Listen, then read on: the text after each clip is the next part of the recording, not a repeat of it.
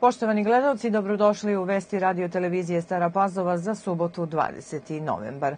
Epidemijska situacija trenutno je stabilna, smanjuje se broj novo obolelih u Srbiji, a među njima i onih najmlađih.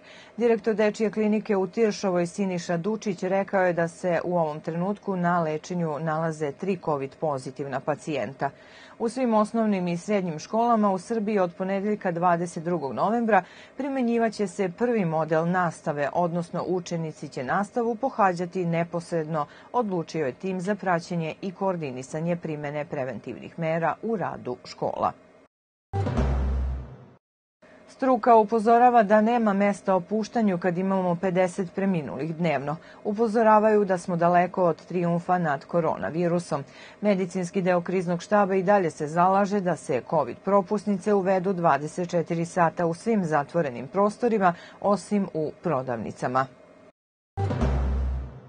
Stanovnicima Podunavlja od skoro je omogućena vakcinacija i u Domu zdravlja u Starim Banovcima. Trenutno su na raspolaganju vakcine Sinopharm i Pfizer, kao i vakcine protiv sezonskog gripa, a imunizacija je moguća bez prijavljivanja. U smeni radi jedan doktor, dve medicinske sestre i terenska ekipa, a od ponedeljka 22. novembra u popodnevnoj smeni od 13.30 do 20 časova. Što se tiče građana koji nisu u mogućnosti da dođu do doma zdravlja, tu je i terenska ekipa, a prijavljivanje za vakcinaciju kod kuće obavlja se putem izabranog lekara ili u obližnjoj ambulanti. Ostali stanovnici Staropazovačke opštine imunizaciju mogu obaviti na kompleksu bazena radnim danom i subotom od 8 do 15 časova kako protiv korone, tako i protiv sezonskog gripa. Zavod za transfuziju krvi Vojvodine u saradnji sa Crvenim krstom Stara Pazova u nedelju 21. novembra u Novoj Pazovi organizuje akciju dobrovoljnog davanja krvi. U osnovnoj školi Ratko Nemanji Cveti Sava krv možete donirati od 8 do 13 časova. Ujedinjene nacije su 1996. godine donele odluku da će 21. novembar biti svetski dan televizije, jer je tada održan prvi svetski televizijski forum na kojem su se okupile poznate medijske ličnosti kako bi pričale o porastu značaja televizije. Danas je ona dostigla svoj puni sjaj i opravdano postala primarni medij sa preko stotine programa najraznovrsnijeg sadržaja. Čak 85% evropljana nedeljno najmanje 3,5 sata dnevno provede upravo preko puta svojih malih ekrana. Televizija je od posebnog značaja u vreme pandemije kada se svi najvažniji događaji mogu čuti i videti u pravom svetlu. Čini se da su se ljudi upravo zbog toga umorili od svakodnevnog gledanja u ekran. Ja sam u penziji pa dosta gledam, mislim sve. Slabo gledam televiziju, ovaj, uglavnom samo vesti. Par sati. 6-7 sati dnevno. Pa uglavnom nađem sve preko interneta, ne gledam uopšte TV, redko kad palim. Gledam uh, utakmice futbolske, arenu sport, tako. I neke serije kad imaju dobre. Vrlo slabo, vrlo slabo gledam na televiziju. Kako je televizija vremenom sve više imala uticaj na javno mnjenje, tako se formirao i veliki broj programa sa raznim sadržajima. Svoje mišljenje o tome iznela je novinarka Danijela Gorčić.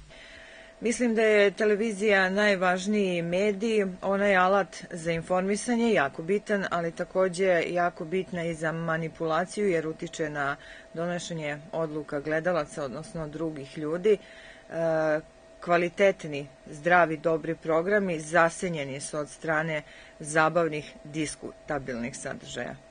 Kakav uticaj na ljude ima televizijski sadržaj 21. veka, reći će nam sociolog Zorica Kešelj, koja sa đacima u školi često priča na ovu temu sve ono što nije dobro i sve ono na što smo mi navikli u našem odrastanju sada se pokazalo kao neka vrednost koja je isplivala na površinu, manipulisanje, laganje, neiskrenost, a znanje i obrazovanje nekako su došli u zapićak. Ono što može da koristi su razni edukativni programi na bilo koju temu o kojima mi danas pričamo, naročito na temu nauke i znanja.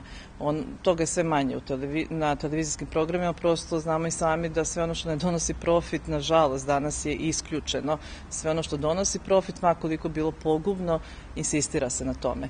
Svetski dan televizije obeležava se 21. novembra, a neki od najgledanijih televizijskih prenosa bili su letnje olimpijske igre u Londonu 2012. i Rio de Janeiro 2016. godine, kao i svetsko prvenstvo u futbalu u Moskvi 2018. godine. Za ponedeljak 22. novembar planirano je isključenje vode u Belegišu u ulici Svetog Save zbog prevezivanja vodovodne mreže, ako vremenski uslovi naravno dozvole. Korisnici u navedenoj ulici vodu neće imati u periodu od 8 do 14 časova. Sve dodatne informacije možete dobiti u vodovodu i kanalizaciji telefonski na broj 310 330. Bezbrižno detinjstvo malene staropazovčanke Teodore Radojković prekinuto je sredinom ove godine kada je sasvim slučajno otkriveno da boluje od teške bolesti. Teodora ima difuzni gliom moždanog stabla. Nedavno se vratila iz Rusije sa instituta doktora Borisova gde je primila imunoterapiju hlorofilima koja je obuhvatila šest injekcija u šest tačaka duž leđa. Operativni zahvat u Teodorinom slučaju nije moguć i porodica se nada da će pomenute terapije u Podmoskovlju u narednom periodu dovesti do izlečenja.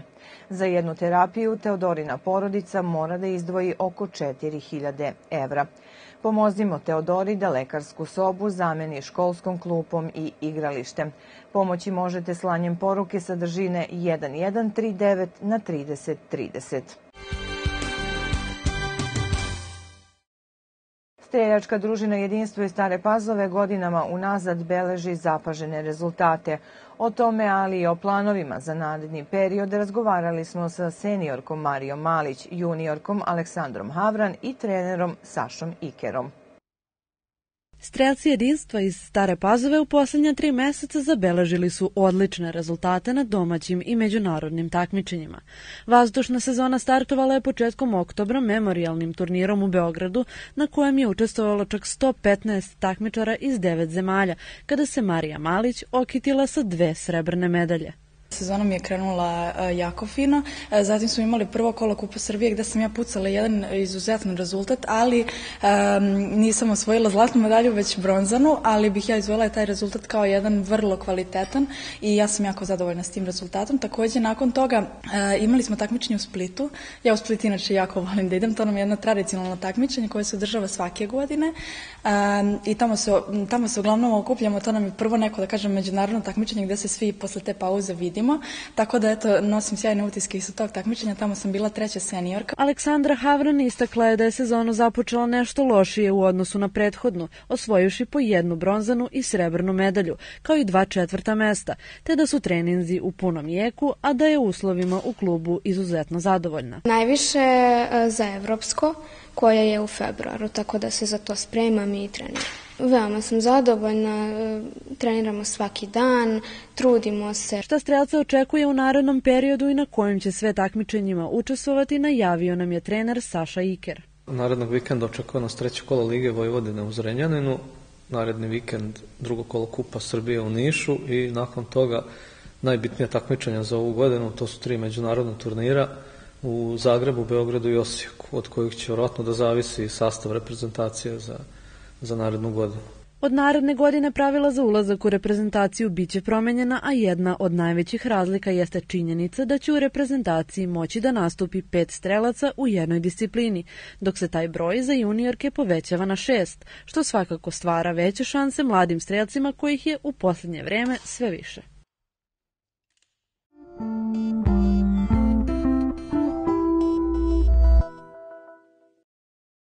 Vikend pred nama biće u znaku suvog i malo toplijeg vremena sa temperaturom do 16 stepeni. Ujutru magla i niska oblačnost koja će ponegde na severu i zapadu zadržati se i duže tokom prepodneva. Sutra tokom dana pretežno sunčano, a u ponedeljak na oblačenje i mestimično s kišom.